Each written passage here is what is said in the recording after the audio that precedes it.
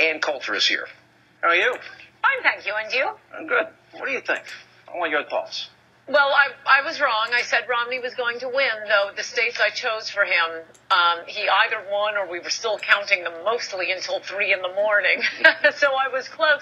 But I mean, all the all the election, the laws of elections were violated. A tie goes to the Republican, a tie goes to the challenger. Bradley effect, a tie goes to the white guy.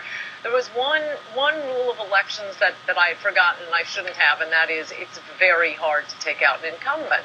That was as many many people remember why I abandoned Bernie and ran off with Chris Christie in the middle of Obama's term because I just thought remember that he's likable, but Obama is likable. He's an incumbent. It's going to be very hard to take him out. We're going to need some some star power street fighter like like Chris Christie. I think I was wrong about that. I absolutely think Mitt Romney was the right candidate, the strongest candidate.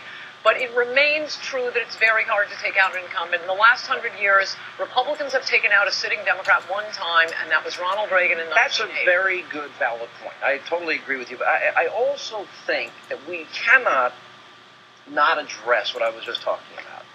America, in some ways, yes. is, is, changing. Yes. And, and it's changing in this way is that, you know, and it's the allure of free. It's the allure of, oh, no pressure. It's the allure of government taking care yes. of you. It, it, look, we, it's it's worked throughout history. It's worked in Europe. Now the results are also predictable. They, they run out of money. They run out of other people's money.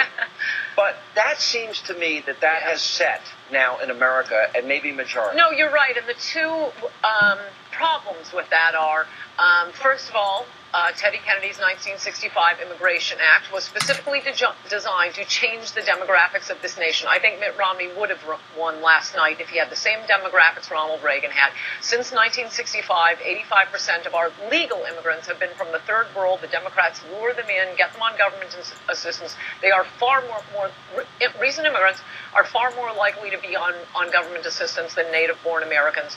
The second problem with that is once you start down that road, it's hard it's harder to take treats away from people than to have them never get on those treats to begin with.